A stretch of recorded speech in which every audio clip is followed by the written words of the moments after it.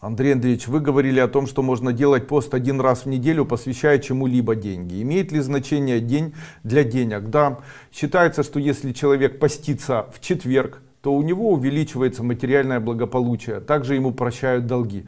В случае, если человек постится в воскресенье, то его жизнь становится более легкой, не такой сложной, не такой, наверное, обременительной и тяжелой. В случае, если человек хочет решить какие-то отношения или решить как-то свою судьбу и сделать так, чтобы судьба повернулась к нему каким-то решительным таким образом. То есть там мужчина с женщиной живут, хотели бы расстаться, но не могут из-за там имущества детей или еще чего-либо. Вот э, такой пост необходимо проводить во вторник.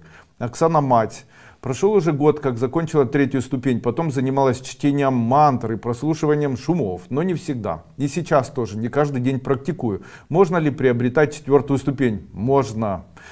Ольга Сгорска. Вот наконец-то решила задать вопрос по здоровью. Болят ноги, косточки на ступнях. Какие препараты ТФ принимать?